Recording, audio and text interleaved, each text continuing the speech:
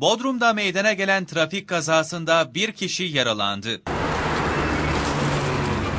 Edinilen bilgiye göre Kıbrıs Şehitleri Caddesi Jandarma Kavşağı mevkiinde Murat Eskin idaresindeki 20 HU 695 plakalı otomobil sürücüsünün direksiyon hakimiyetini kaybetmesi sonucu otomobil önce refüje ardından Ferah Demirkan'ın kullandığı 48 VE 505 plakalı tıra çarparak yoldan çıktı. Yolda sürüklenen otomobil kaldırımı da aşarak yaklaşık 10 metre yüksekliğindeki istinat duvarından aşağı düştü.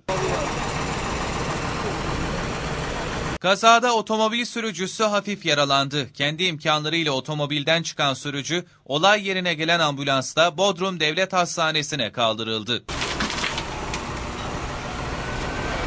Tır şoförü Ferah Demirkan gazetecilere yaptığı açıklamada trafik ışıklarından geçtikten sonra otomobilin refüje çıktığını belirterek kaza anlarını şöyle anlattı.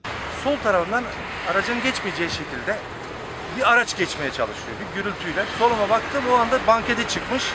Bankete çıkınca araç benim altıma girdi. Dengeyi kaybedip. Ben frene bastım o sesi duyar duymaz.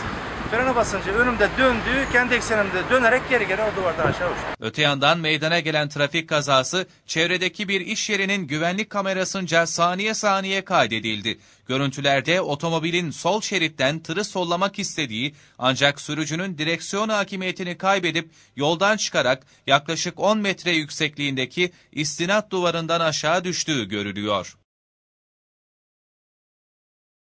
Otomobilin kullanılamaz hale geldiği kazada polis ekipleri olay yerinde inceleme yaptı. Sürücü Murat Eskin'in ise durumunun iyi olduğu öğrenildi.